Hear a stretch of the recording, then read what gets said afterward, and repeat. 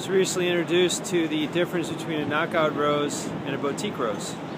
Knockout rose is very colorful, bright, catches your eye. There's not a lot of depth, there aren't many layers, it doesn't smell. A boutique rose has a lot of layers, it smells very beautiful. I think it's a symbol in a way of spiritual beauty. People who take that seriously, there's a big difference.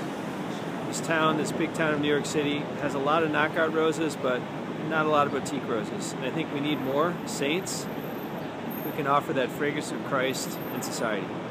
May God bless you.